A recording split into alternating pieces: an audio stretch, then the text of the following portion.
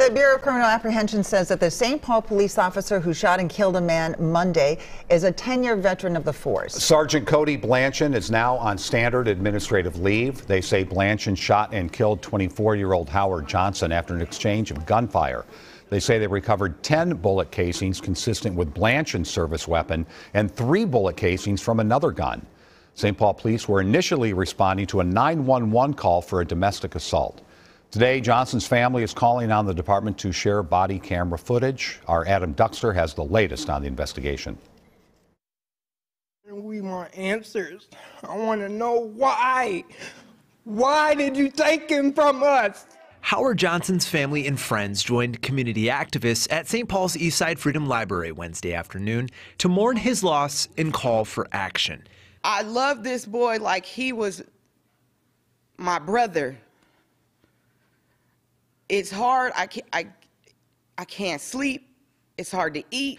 Around 6 p.m. Monday, St. Paul police say they've responded to a 911 call of domestic violence and potential assault. They say officers encountered a man with a gun who then appeared to try and carjack someone.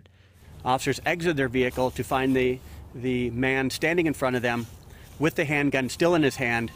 Officers discharged multiple rounds the security footage obtained by WCCO shows an SUV pull out and then stop. Next, a pop.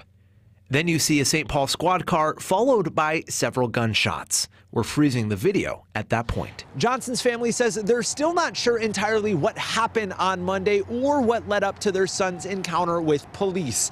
They say right now their biggest ask is for transparency, something they say police worn video would provide. I'm entitled to that. That is my child. I deserve to know what happened to him. We deserve to know what happened to our, fam- to our family members.